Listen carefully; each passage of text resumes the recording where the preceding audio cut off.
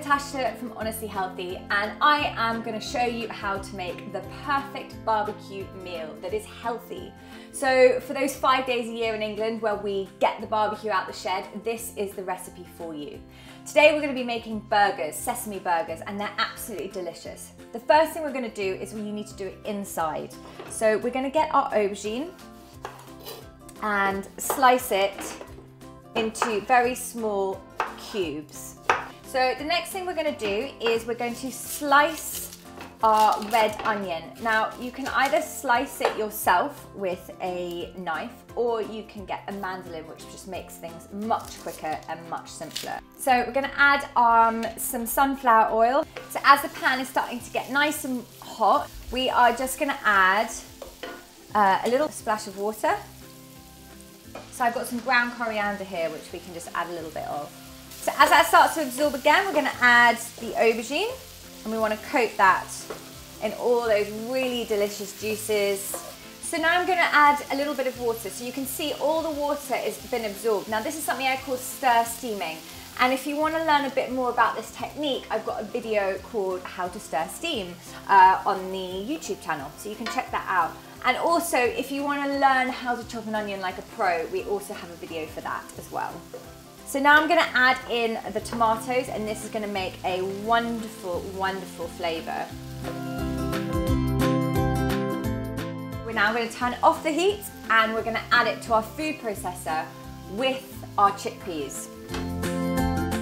So now we're gonna add some garlic. So I'm just gonna grate some raw into here.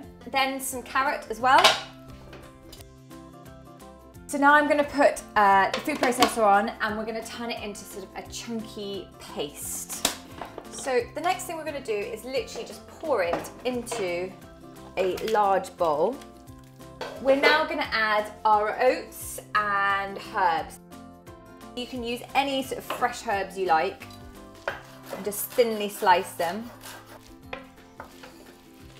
So remember, if the texture feels a little bit too wet for you, just let it sit for a while because the oats will absorb all of that moisture. So I'm just gonna add a little bit of lemon zest. So all you need to do is just season it a little bit uh, with a little bit of salt and some pepper. So literally, we wanna make sort of patties the size of your palm sort of make it into a ball and then sort of flatten it slightly and then make it nice and round around the edges. And then what you're gonna do is dip it into the sesame seeds and that is your first burger. So if you're allergic to sesame seeds, you can also roll them in polenta and it will help to make them really crispy on the outside and help to sear them as well.